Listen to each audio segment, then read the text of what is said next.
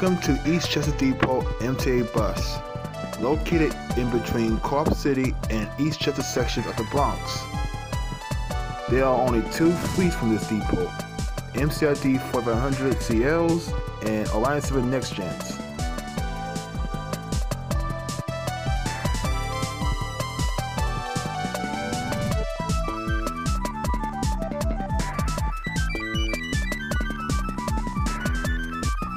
Eastchester began service as part of the MTA bus takeover in 2005. Eastchester was once New York bus service.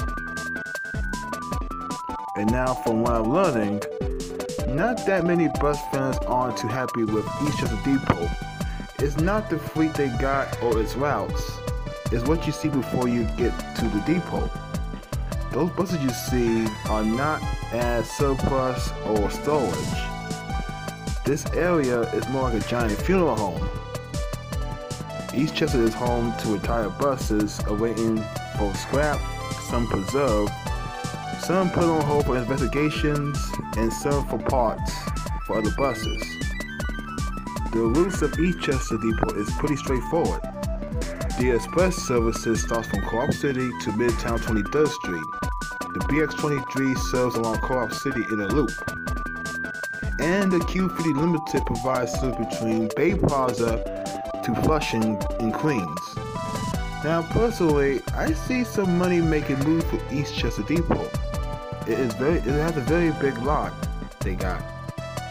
It's perfect for Bus Fest. Hey, they could make it into a museum, and and they could preserve some of these buses as a nostalgia ride along the BX23 on excursion to Flushing, oh, never mind. An excursion to Midtown 23rd Street via the BXM7 routes. It sounds good on paper, right?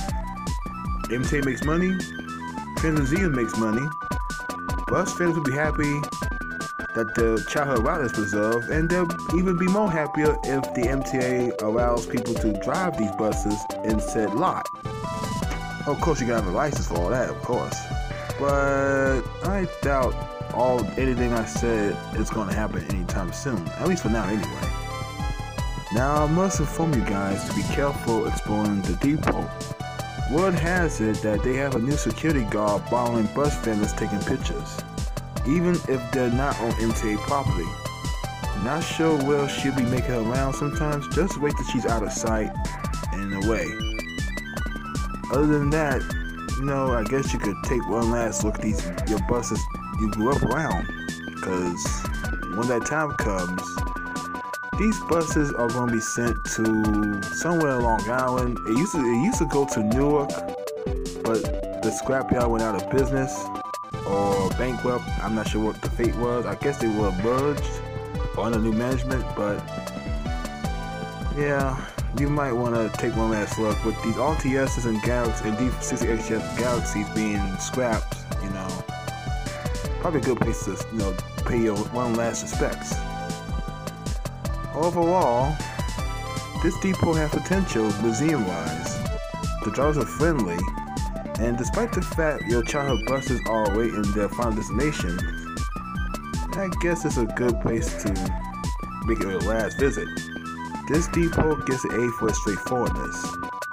Now, if you guys got more information on Eastchester Depot or New York bus service, feel free to comment below. Until then, this is Shadow signing off. See you in the next review.